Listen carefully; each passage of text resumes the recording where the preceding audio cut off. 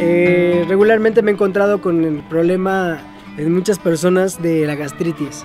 Yo les puedo recomendar algo muy sencillo que pueden hacer, aparte obviamente llevar una mejor alimentación en, en horarios, pero hay algo muy sencillo, pueden poner a hervir una cucharada de estas cafeteras pequeñas, este, linaza, toman la cucharada de linaza en un pocillito más o menos como de 125 mililitros, que la dejan desde el principio, que empiece a hervir unos 5 minutitos. Cuando empieza a sacar una, una especie de mucílago blanco, ahí hay que apagarle, quitarlo de la hornilla, dejarlo reposar. Lo colamos y ese té se lo pueden tomar. Puede ser en la mañana y en la noche durante 7 días y eso va a disminuir mucho. Si es por úlcera, les va a ayudar a cicatrizarla. Y si es por inflamación, les va a bajar muchísimo la inflamación, no nada más del estómago, sino de todo el intestino.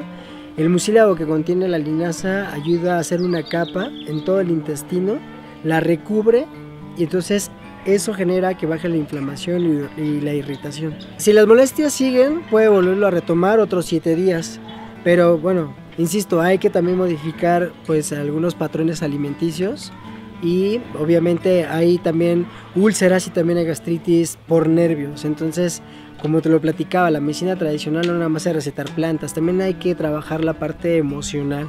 Entonces es importante llevar de la mano el tratamiento, en este caso de la semilla de linaza, y por otro lado manejar justo la emoción. El estrés genera úlceras, genera gastritis, inflamación intestinal, incluso este estreñimiento. Entonces les recomiendo algo básico que es la linaza.